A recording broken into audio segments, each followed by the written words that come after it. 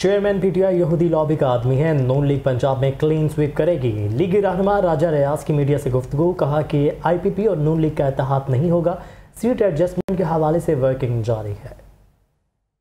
के पास जगह नहीं है। इनके अपने sitting M N M P A काफ़ी ज़्यादा हैं और काफ़ी सारे लोगों के लिए बात की है, लेकिन उनके पास सिटिंग एम पी ए बैठे हैं एम एन ए बैठे हैं, इसलिए उनको टिकट में मुश्किल आ रही है। अभी तक जो हालात हैं, उसमें मुझे मुस्लिम लीग नून पंजाब में स्वीप करती नज़र आ रही है और मुझे नहीं नज़र आ रहा कि पीटीए जो तरीके काम उस्मान बुजार के घर पानी बिजली नहीं था, वज़ीर अला बना दिया गया। सबक वजी अला को इस अहलियत पर रखा गया कि उसके घर बिजली पानी नहीं, जो अपने घर को बिजली फराम नहीं कर सकते, वो आवाम को क्या देंगे? आई पी पी रहनुमा मुरादराज कहते हैं, चेयरमैन पी टी आई ने जानबूझकर पंजाब के साथ ज्यादती की।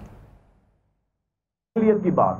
करप्शन की चीज़ें वो आपके सामने रोज़ मीडिया पे आ रही है, नहीं आ रही है। मेरा, मैं उससे ताल्लुक ही नहीं जोड़ रहा इस वक्त। मैं सिर्फ़ कह रहा हूँ अहलियत में उस आदमी को इस अहलियत पे रखा गया कि जी, इसके घर बिजली नहीं है। या इसके घर पानी नहीं आ रहा। पता नहीं उस वक्त इसी तरह की कोई चीज़ें कही गई थी। उस्मान बुजदार साहब के वालिद साहब एमपीए रह चुके थे। वो खुद इलेक्टेड ऑफिशियल रह चुके थे।